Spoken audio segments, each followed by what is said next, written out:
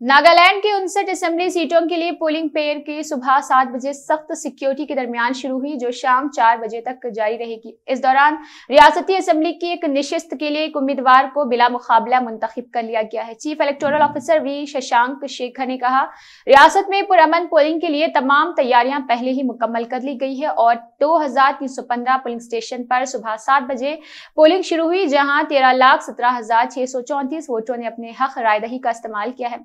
शशांक शेखर ने बताया है कि पैंसठ लाख इक्यावन हज़ार चार सौ चार खातन समेत तेरह लाख से ज़्यादा वोटर एक सौ तिरासी उम्मीदवारों की इंतबी किस्मत का फैसला करेंगे, जिनमें चार खातन उम्मीदवार रहेंगे। रियासत में सर्विस वोटर सात हज़ार नौ सौ तिरासी है और जबकि चौबीस हज़ार छह सौ उन्नावत नए वोटर्स है। छह हज़ार नौ सौ सत्तर माजूर वोटर्स है, जबकि छत्तीस हज़ार चार सौ तीन ऐसे वोटर्स है जिनकी उम्र अस्सी साल से ज़्यादा है। रियासत में कोई ट्रांसजेंडर वोटर नहीं है। उन्होंने कहा कि पोलिंग स्टेशन के अंदर और बाहर सिक्योरिटी के सख्त इंतज़ाम किए गए हैं। रियासत में पुरमन पोलिंग को यकीनी बनाने के लिए नागालैंड पुलिस की जानब से सख्त हिफाजती इंतज़ाम किए गए रियासत में central reserve police force, border security force और सी एस एस एफ़ और आर एफ़ एस समेत मुख्तलिफ़ मरकजी मराकज पुलिस तंजीमों के ज़रिए दस्तों की तीन सौ पाँच कंपनियाँ तैनात की गई है।